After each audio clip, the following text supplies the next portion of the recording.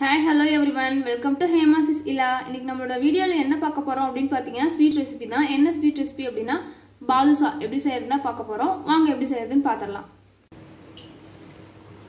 வாங்க தேவையான பொருள் என்னென்னு பார்த்துடலாம் ஒரு கப் அளவு ஒரு கப் வந்து மைதா எடுத்திருக்கேன். ஒரு கப் சுகர் தேவையானதுக்கு நெய். எலுமிச்சு பழச்சாறு ஒரு ஆஃப் லெமன் எடுத்து கட் பண்ணி எடுத்து வச்சுருக்கேன். தேவையானதுக்கு தண்ணி. மாவு பிசைஞ்சு இருக்கிறதுக்காக பால் தேவையான அளவு ஒரு பிஞ்சு அளவுக்கு சோடாப்பு நாலு ஏலக்காய் எடுத்து இன்னைக்கு எடுத்து வச்சுருக்கேன். வாங்க இப்போ எப்படி செய்யறதுன்னு பார்த்துடலாம் மாவு பிசைஞ்சு எடுத்துக்கலாம். மாவு பிசைஞ்சு எடுக்கிறதுக்கு நான் வந்து ஃபஸ்ட்டு வந்து நெய் சேர்த்துக்கிறேன்.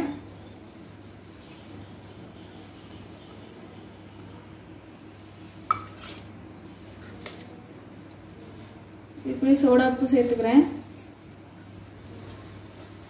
சேர்த்து மாவு வந்து சப்பாத்தி மாவு மாதிரி பிசைஞ்சிடக்கூடாது சப்பாத்தி மாவு பிசைஞ்சு சாஃப்டாலாம் பிசைஞ்சிடக்கூடாது ரொம்ப அதோட கொஞ்சம் தண்ணி கம்மியாக இருந்தால் எப்படி மாவு பிசையும் அந்த அந்த மாவு பிசையும் அந்த மாதிரி பிசையணும் மாவு பிசைஞ்சிக்கலாம் கொஞ்சமாக வந்து பால் சேர்த்துக்கிறேன்.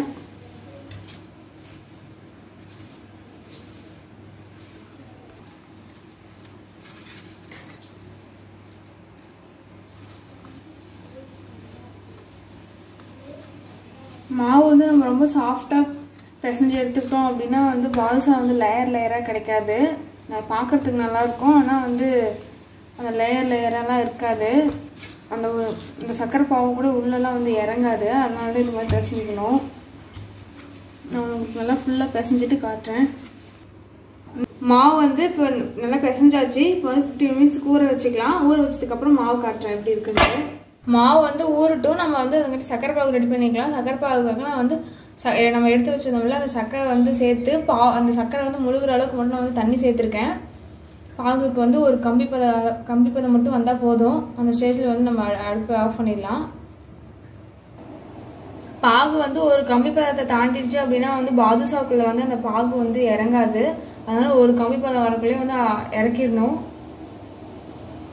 இப்போ பாகு வந்து ரெடி ஆகிட்டு இருக்குன்னு அந்த ஒரு கம்பி பதம் வரைக்கும் நான் உங்களுக்கு காட்டுறேன். சர்க்கரை நான் கரைஞ்சிருச்சு சர்க்கரை கரைஞ்சது நான் வந்து ஏலக்காய் சேர்த்துக்கிறேன்.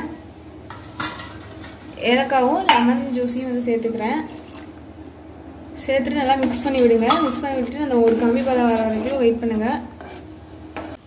இப்போ வந்து ஒரு ஒரு கம்பி பதம் வந்துருச்சு. உங்களுக்கு அப்படி ஒரு கம்பி பதம் பார்க்க தெரியல அப்படின்னா சக் சர்க்கரை தனியாக ஆட் பண்ணி ஒரு five to seven minutes seven மினிட்ஸில் வந்து அந்த ஒரு கம்பி பதம் வந்துடும் அப்போ வந்து அடுப்பு ஆஃப் பண்ணிக்கோங்க.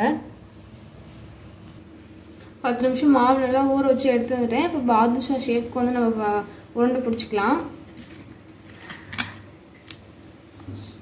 உங்களுக்கு சின்ன ஷேப்பில் வேணுன்னா சின்னதாக போட்டுக்கலாம். பெருசாக வேணுன்னா பெருசாகவும் போட்டுக்கலாம். மாவு வந்து இது மாதிரி நல்லா உருண்டை பிடிச்சிட்டு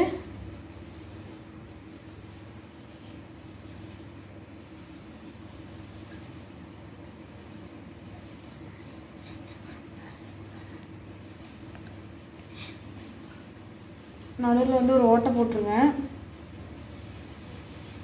இந்த மாதிரிலாம் இருந்தால் தான் வந்து பாதுஷா வந்து நமக்கு லேயர் லேயராக கிடைக்கும்.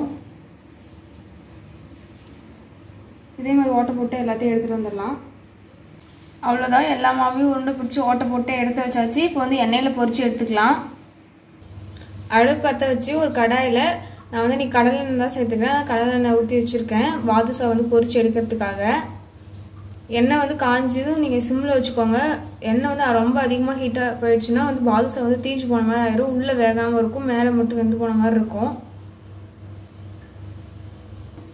எண்ணெய் வந்து காஞ்சிருச்சு. நான் இப்போ ஒன்று ஒன்று ஆட் பண்ணிக்கிறேன். நான் வந்து லோ ஃப்ளேமில் வச்சு தான் பொறிச்சு எடுக்க போகிறேன்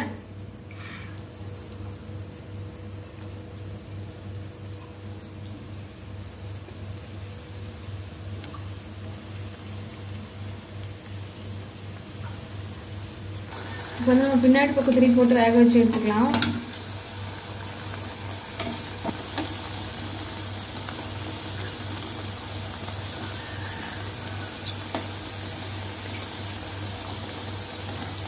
லோ ஃப்ளேமில் வச்சு பொரிச்சு எடுத்துக்கோங்க.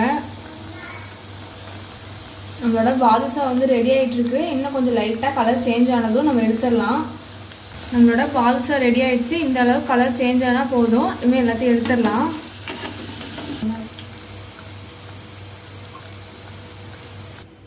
நம்மளோட பாதுஷா எல்லாம் பொறிச்சு எடுத்தாச்சு. இப்போ வந்து சக்கரை பாகில் வந்து ஆட் பண்ணிக்கலாம்.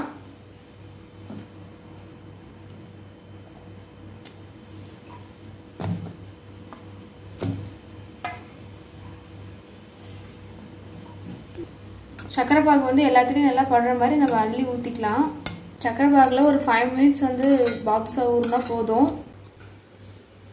பாதுஷா வந்து ஃபைவ் மினிட்ஸ் ஊறிடுச்சு. பாதுஷா வந்து ரெடி ஆயிடுச்சு.